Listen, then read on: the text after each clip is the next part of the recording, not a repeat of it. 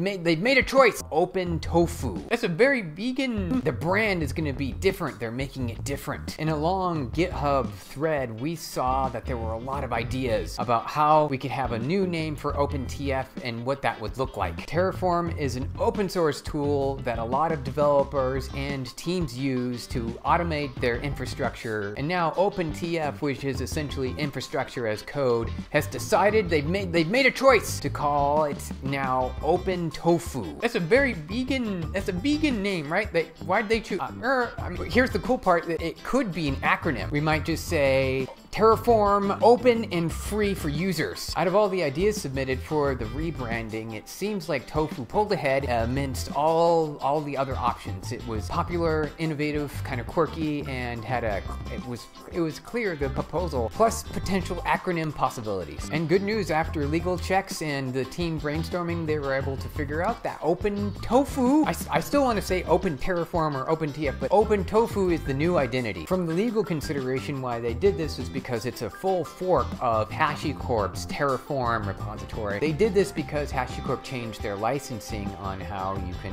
consume the Terraform capabilities to automate your infrastructure. With Open, Open I almost said OpenTF. With Open Tofu, you can do exactly the same thing, but now it's licensed unencumbered and is available under the Linux Foundation. So now that it has a fresh identity, Open Tofu allows you to continue down your code automation infrastructure deployment. You can do it free and clear without any having licensing encumbrance and continue to use this loved tool in the software engineering world.